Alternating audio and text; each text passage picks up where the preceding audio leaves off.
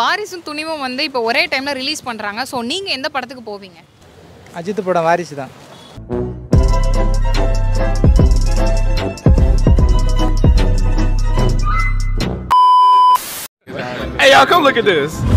இதுக்கு முன்னாடி அவர் நிறைய படங்கள் நடிச்சிருப்பார்ல அந்த படங்கள்ல உங்களுக்கு வந்து வேற லெவல்ல நடிச்சிருந்தாருப்பா. அப்படின்ற மாதிரி எந்த படம் இருக்கு? வலிமை வலிமை.